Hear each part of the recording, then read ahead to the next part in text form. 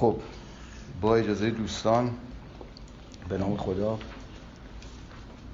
غزل شماره 21 دیوان شمس مولوی.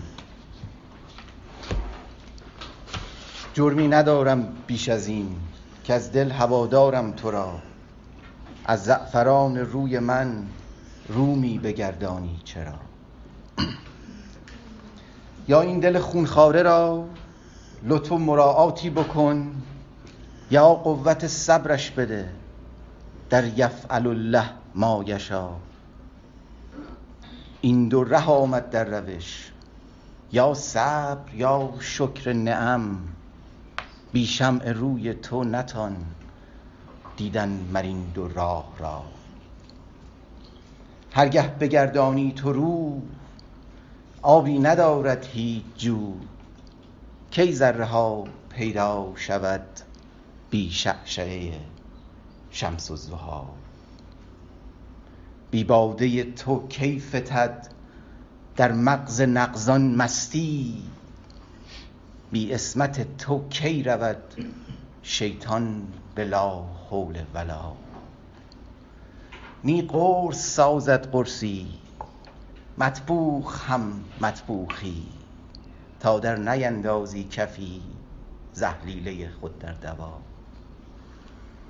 امرت نغرد کی رود؟ خورشید در برج اسد. بی تو کجا جنبد رگی در دست و پای پارسا؟ در مرگ هشیاری نهی در خواب بیداری نهی در سنگ سقایی نهی در برق میرنده وفا.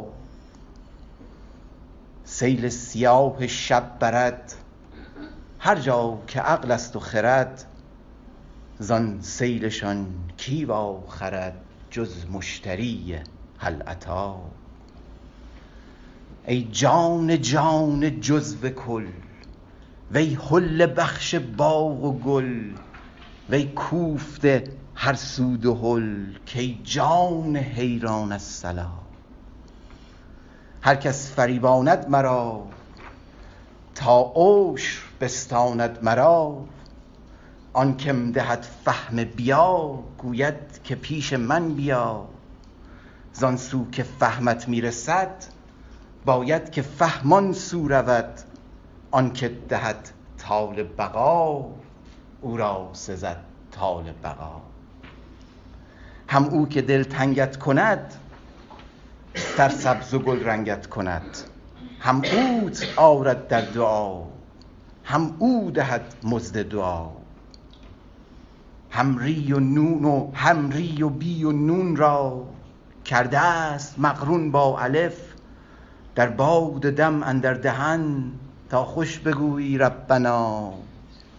لبیک لبیک ای کرم سودای توست اندر سرم. ز آب تو چرخی می زنم مانند چرخ آسیا. هرگز نداند آسیا مقصود گردش های خود کاستون قوت ماست او یا کسب و کار نانبا.